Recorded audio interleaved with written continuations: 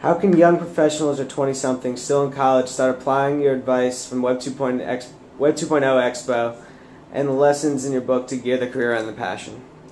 Well, they can stop worrying about their classes so much. First and foremost, just pass them. I'm not kidding. Um, you know, think about what you want to do. Go out there and do it. The internet itself is the platform that you want to apply it on. It's not about the Facebook and the Twitters and this of the world. It's about the whole platform as a whole and recognizing that communication and tapping into the user base and caring about the same issues, you know, hobbies um, is so imperative. So, what do you love the most? I mean, once you figure that out, use the free tools to execute it. Right, any special thoughts for the nonprofit and social entrepreneurship world to crush it hard with Yeah, social media and transparency? Absolutely. I think the nonprofit world should act like a profit world. Act like a real business. Be a big boy. You know, do the right things.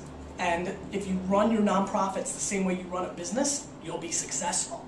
The problem is there's way too many nonprofits run by intellects, which is nothing wrong. Love the intellects. Think of myself as one sometimes when I talk wrestling and football. The bottom line is this you've got to treat like a business, and then business things happen.